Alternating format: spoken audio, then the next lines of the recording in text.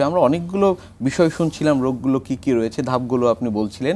সেক্ষেত্রে একেবারে প্রাথমিক পর্যায়ে আমি যদি একটু আপনার কাছ থেকে জেনে নিতে পারি, লক্ষণ উপসর্গ আসলে কেমন থাকে? কারণ রোগীরা তো শুরুতেই আসলে চিকিৎসকের শরণাপন্ন হন না। কি দেখে আসলে তারা বুঝবেন?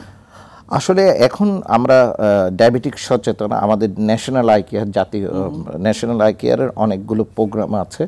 হচ্ছে এই যে জাতীয়ভাবে এটি আমাদের সরকার পরিচালিত করে সেই পরিচালিত ডায়াবেটিক রেটিনোপ্যাথি স্ক্রিনিং একটি গুরুত্বপূর্ণ। এছাড়া যারা- ডায়াবেটিস রোগী আমরা তাদেরকে বলে থাকি চোখের ডাক্তাররা বলে থাকে তারা রোগীর চোখ ছয় থেকে এক বছর পর পর চোখ দেখাবে। এখন দেখাতে গেলেই অনেক সময় দেখা যায় যে অনেক সময় যাদের মাইল্ড টু মোডারেট ফর্ম আছে, তাদের সাধারণত কোনো কমপ্লেন থাকে না। যদি ইতে যে চোখের যে কেন্দ্র বা মেকুলাতে যদি কোনো পানি বা চর্বি জমে না থাকে যদি পানি বা চর্বি জমে থাকে তখন রোগীরা বলে আমরা চোখে কম দেখছি। এই কমপ্লেনটা নিয়ে আসে। এছাড়া প্লোরিফারেটিভ ডায়াবেটিক রেটিনোপ্যাথি যেটাকে আমি বলেছি কিছুক্ষণ আগেই যে এটা খুব খারাপ ধরনের একটি অসুখ। সেই ক্ষেত্রে অনেক সময় যে রেটিনাতে রেটিনাতে রক্তক্ষরণের সৃষ্টি হয় সেই রক্তক্ষরণ অনেক সময় ফেটে গিয়ে চোখের যে ভিট্রাসে রক্তক্ষরণ করে এবং রোগীর দৃষ্টি ঝাপসা হয়ে আসে।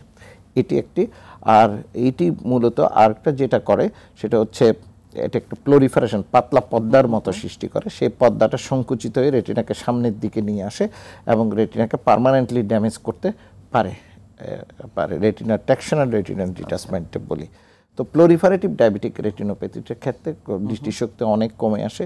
অনেক সময় রক্তক্ষরণ হলে রোগী বলে চোখের সামনে যেন লাল লাল কি যেন ভাসছে এবং চোখের দেখতে পাচ্ছে না দৃষ্টি ঝাপসা হয়ে আসছে। এটি সাধারণত ডায়াবেটিক রোগীরা আমাদের কাছে কমপ্লেন নিয়ে আসে। চোখের সার্জারি সার্জারি শব্দটি শুনলে আসলে রোগীরা কিন্তু এক ধরনের ভয়ের মধ্যে দিয়ে যান এক ধরনের আতঙ্কের মধ্যে দিয়ে যান। কখন এবং কোন ক্ষেত্রে সার্জারি আসলে প্রয়োজন হয়ে থাকে? ডায়াবেটিক রেটিনোপ্যাথির ক্ষেত্রে সাধারণ আমি কিছুক্ষণ আগেই বলেছি, যদি চোখের যে কেন্দ্র, সেটা প্লোরিফারেটিভে হতে পারে নন প্লোরিফারেটিভ কেন্দ্রে, সেখানে পানি এবং চর্বি জমতে পারে হ্যাঁ?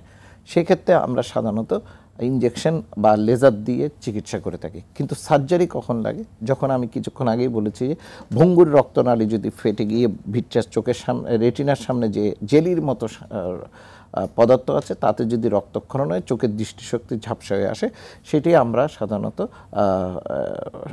অপারেশনের মাধ্যমে পরিষ্কার করে থাকি, অপারেশন, যে ভিট্রেকটমি অপারেশন। ভিট্রেকটমি অপারেশন করে আমরা ভিট্রেসটাকে কেটে ওখানে লেজার করে দিই, এই যে ভঙ্গুর, তাতে ভঙ্গুর রক্তনালীগুলো রিগ্রেস হয়ে যায় এবং সাধারণত ব্লিডিংটাও কম হয়।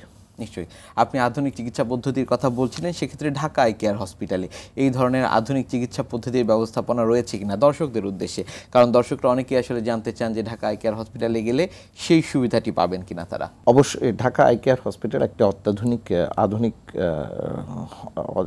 অত্যাধুনিক হসপিটাল এখানে আধুনিক সব যন্ত্র যন্ত্র রয়েছে এবং সেই যন্ত্রগুলো দিয়ে আমরা চোখের বিভিন্ন ধরনের রোগ নির্ণয় বিশেষ করে ডায়াবেটিক রেটিনোপ্যাথি স্ক্রিনিং এবং ডায়াবেটিক রেটিনোপ্যাথি প্যাথির যে বিভিন্ন ধরনের পরীক্ষা ocular coherence tomography B A scan এই জিনিসগুলোর মাধ্যমে আমরা রোগটা নির্ণয় করে থাকি। এছাড়া আমাদের অপারেশনের জন্য রয়েছে অত্যাধুনিক কনস্টলেশন মেশিন এবং লেজার মেশিন রয়েছে এবং সেই লেজারের মাধ্যমে আমরা এগুলো চিকিৎসা করে থাকি এবং এছাড়া যে আমাদের যে ভিট্রেকটমি মেশিন আছে এবং সেই ভিট্রেকটমিটা হচ্ছে কনস্টলেশন মেশিন যেটাকে বলছি সেটা এবং আর সাথে অত্যাধুনিক মাইক্রোস্কোপ আছে যেগুলো পৃথিবীর সবচেয়ে দামি মাইক্রোস্কোপ এবং এবং মেশিন দুইটাই আমাদের এই দুটোর মাধ্যমেই আমরা খুব সফলতার সাথে আমরা চোখের এই রেটিনার রোগের চিকিৎসা করে থাকি। আমরা যদি একটি ছবির মাধ্যমে দেখে নিতে পারি। এই যে আমরা দেখতে পাচ্ছি যে অত্যাধুনিক কনস্টলেশনের মাধ্যমে আমরা